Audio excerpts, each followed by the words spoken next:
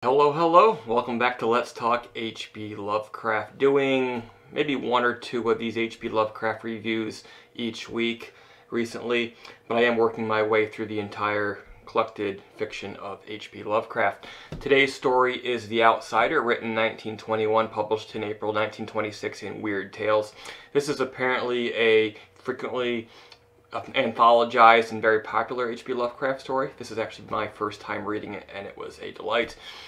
Uh, the narrator uh, is telling his own tale here. He's an individual, lonely, um, no friends, in solitude, solitude, no other beings that he knows. Uh, he lived and is trapped in a ruined castle, cut off from the light um, by the thick forest around him. He can read and like for so many of us, books are his primary companion and education. Uh, but he's never spoken. He doesn't know what his own voice sounds like. He's never even seen himself in a mirror.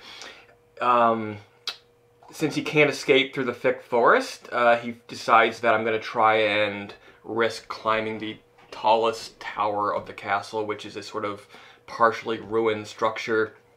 Very dangerous climb. The stairs don't go all the way um, but it's his best chance at uh, fulfilling his desire to see the open sky.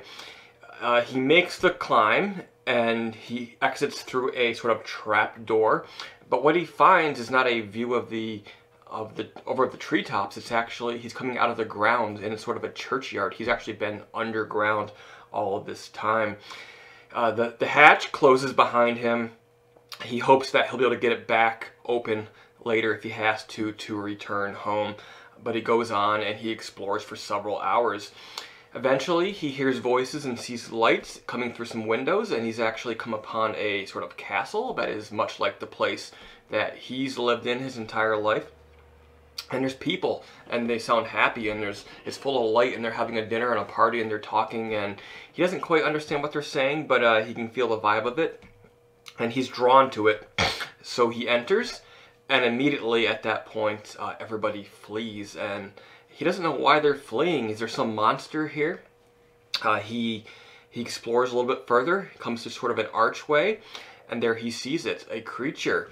Uh, he he accidentally stumbles and touches the creature, uh, at which point uh, we realize, and he realizes that the monster is him. He is uh, sort of an undead sort of immortal being who has been um, imprisoned for God knows how long. He forgot his own origins. Um, but here he is back on the surface in the world of the living, uh, alone, trapped forever, an outsider. Neat little story, guys. I really, really enjoyed it. Uh, the the idea that the narrator was going to be the monster became clear as soon as he uh, entered the castle, which leaves another page or so afterwards. But despite that sort of early giveaway, uh, the payoff still feels good because there was plenty of tension built uh, and plenty of empathy for the character built over the first couple of pages. I'm reminded um, of The Mummy somewhat, um, just of the idea of somebody being locked away and then entering into a different world. Uh, but more so, I'm reminded of Frankenstein's monster, sort of the tragic side of that story, which never really comes across in, um, or say not never, but rarely comes across in most of the movie adaptations of that story. Uh, beyond the fictional element, I love that it's sort of this um, relatable uh, story of a of a person who uh, is very um, often in solitude and they learn about the world and enjoy the world through books and books are where they have their friends and where they have their adventures and their knowledge. And then uh, that one time when they finally put themselves out there and um, engage with the world the world shuns them. And i think that is a very relatable tale. I hesitate to say it but it may be at least partially um, i want to say autobiographical to H.P. Lovecraft himself. I know he had self-esteem issues and depression issues and probably felt rejected by his peers because of his work being so bizarre compared to many others who were writing at that time.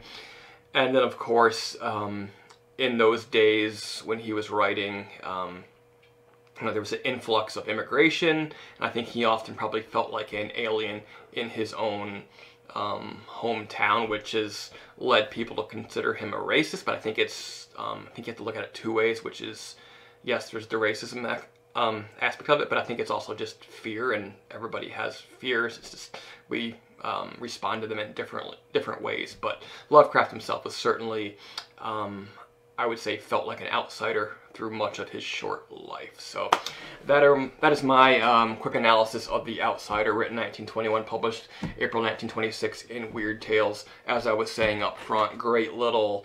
Um, well-written tale, possibly one of his best, certainly one of his more popular and most anthologized stories.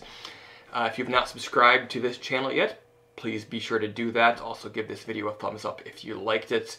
And then tune in again uh, in several days and we'll do another one of these until we're done with the complete fiction of H.P. Lovecraft. So far I've reviewed, I want to say, oh, between 30 and 40 of his stories, which leaves another 20 or 30 so to go.